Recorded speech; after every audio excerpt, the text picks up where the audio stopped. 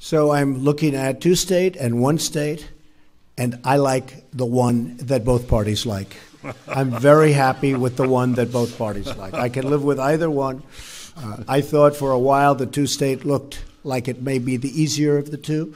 But honestly, if Bibi and if the Palestinians, if Israel and the Palestinians are are happy, I'm happy with the one they like the best. As far as the embassy moving to Jerusalem, uh, I'd love to see that happen. We're looking at it very, very strongly. Uh, we're looking at it uh, with uh, great care, great care, believe me, uh, and we'll see what happens. Okay?